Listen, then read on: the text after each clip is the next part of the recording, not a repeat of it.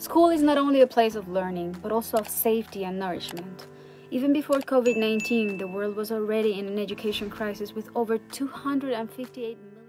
Shakira tras su ruptura con Piqué muestra cuál es su amor más puro. No te vayas. Quédate hasta el final que aquí en Famosos Virales te mostramos los detalles de esta noticia. Aunque han pasado apenas dos meses desde que Shakira y Gerard Piqué anunciaron oficialmente su separación. La cantante colombiana utilizó su Instagram para demostrar que tiene siente un verdadero amor puro por sus hijos. Según las últimas publicaciones del artista, parece que se refugia en sus dos hijos durante este periodo de soltería.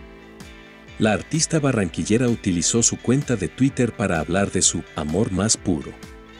La fotografía muestra a Milán y Sacha abrazando a Shakira en el asiento de un avión y la barranquillera hace alusión a sus hijos como las personas más importantes. Esto también en medio de la incertidumbre por la custodia.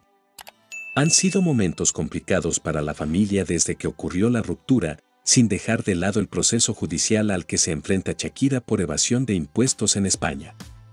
Los pequeños Milán y Sacha son el motor de la estrella internacional.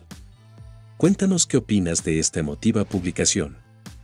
Mientras, los seguidores aprovecharon el post en la cuenta para destacar que esta era la mejor forma que encontró Shakira para superar la ruptura con Gerard Piqué, teniendo en cuenta que el futbolista fue visto con la que sería su nueva pareja.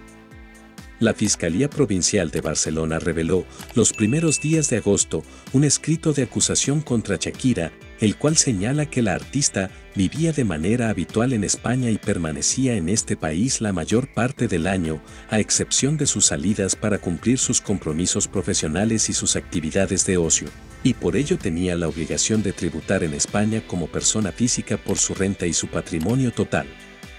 Ante esto, la Fiscalía Española pidió ocho años de cárcel por un presunto fraude a Hacienda de 14,5 millones de euros.